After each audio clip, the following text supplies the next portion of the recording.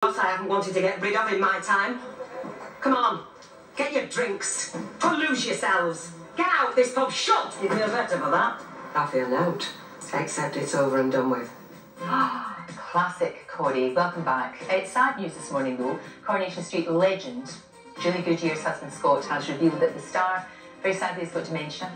He said he decided to go public with the news because Julie obviously still loves to go out and she wants, you know, talk to fans and things, but sometimes she gets a little bit worried, a little bit confused, and he just wanted fans to know that. Similar, of course, to the situation with Barbara Windsor, her husband, also called Scott.